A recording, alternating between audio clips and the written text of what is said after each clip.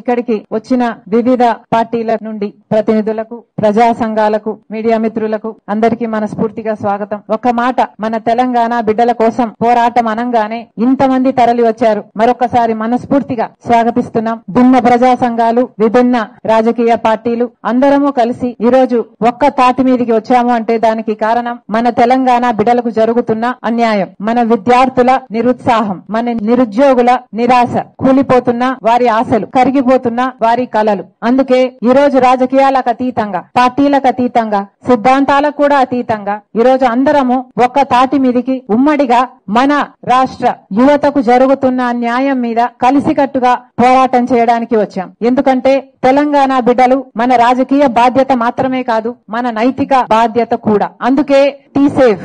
ఈ T save అంటే save Telangana. మన బిడ్డలను మనం రక్షించుకోగలిగితే మన బిడ్డల భవిష్యత్తును మనం రక్షించుకోగలిగితే మన తెలంగాణ రాష్ట్ర భవిష్యత్తును మనం రక్షించుకున్న వారం అవుతాం. అందుకే టీ సేవ్. తెలంగాణ సేవ్ అంటే Telangana students action for vacancies and employment.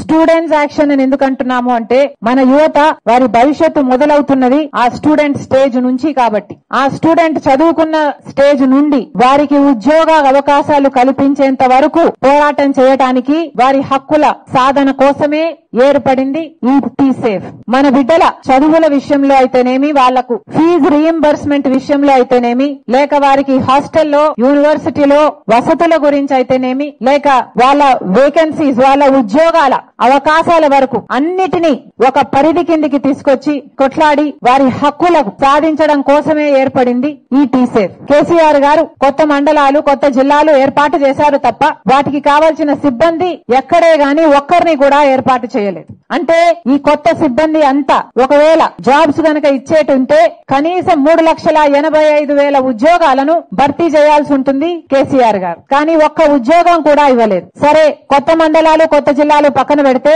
Biswal committee చెప్పిన లక్షా తొంభై ఒక్క వేల ఉద్యోగాలలో కూడా కేసీఆర్ గారు ఏ భర్తీలు చేయలేదు. బిస్వాల్ కమిటీ లక్షా తొంభై